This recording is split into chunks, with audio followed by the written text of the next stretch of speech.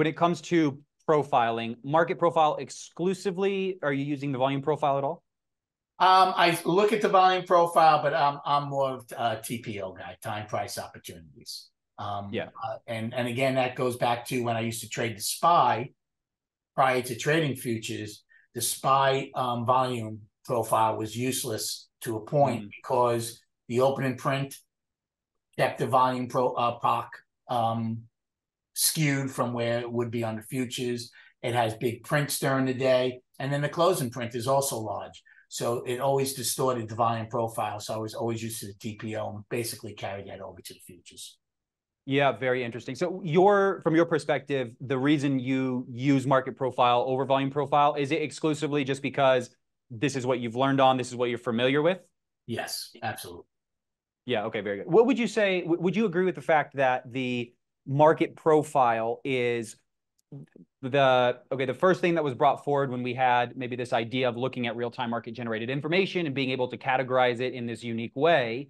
And when it launched forward we didn't have the data capabilities to see every single price how much was happening. So we chunked it off into these time frames uh, 30 minute chunks. And then as technology evolved we now have the ability to see every single price every single transaction that's happening, and this can get delivered right to your home.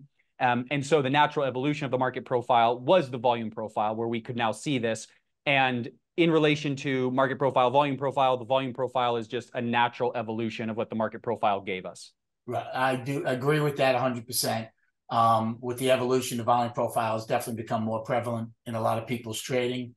Um, but again, I learned when I learned the profile back in 2011, it was more, it was all based on the TPO.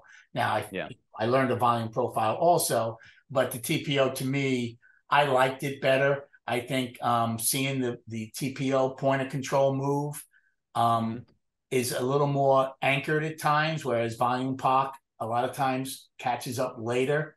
Um, you mm-hmm. see that a lot where the TPO is being raised or lowered, and then later in the day the volume POC might follow. So it's nice to have them both go in the same direction at some point to confirm a move. But I think the TPO for me gives me a better uh, guide earlier uh, as the day is forming.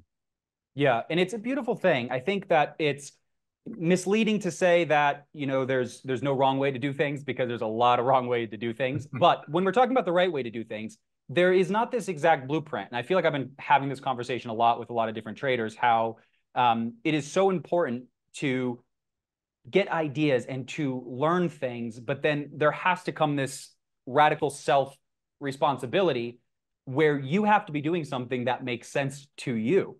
Mm-hmm. And uh, in a lot of cases, there can be different versions. And in a sense, even with, I think, you and our styles, uh, maybe a good way to say it is, you know, we can be brothers and sisters without being twins.